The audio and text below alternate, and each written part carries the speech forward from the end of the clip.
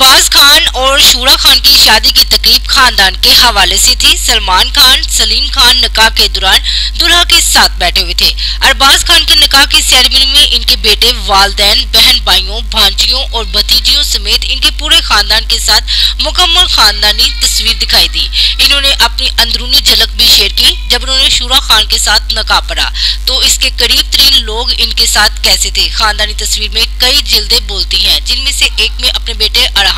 मुस्कुराते हुए दिखाया गया, जब मौलवी ने निकाह का ऐलान किया।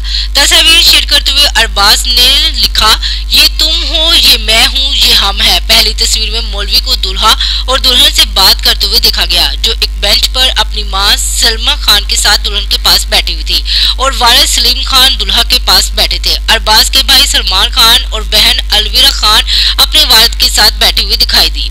गुजरे हुए साल को समेटे और आप लोग देख सकते की तस्वीर जब मौलवी ने निकाह का ऐलान किया, अरहान अपने वालद और अपनी नई बीवी को अपने चेहरे पर मुस्कुराहट के साथ देखता हुआ दिखाई दिया, क्योंकि नो ब्याता जुड़ा शोहर और बीवी के ऐलान के बाद हंसता हुआ दिखाई देता है। इसके साथ साथ तस्वीर में हमें सलमान खान के साथ साथ इनके फैमिली मेंबर्स भी देखने को मिले। हमने देखा कि अर्पिता खान भी इनके निकाह सेरेमनी में शरीक हुई, क्योंकि अरबाज खान की निकाह सेरेमनी अर्पिता खान के घर पर हुई थी, जहाँ पर फैमिलीज़ ने भी शिरकत की और रवीना टंडन को भी अपनी बेटी के साथ शिरकत करते हुए देखा गया।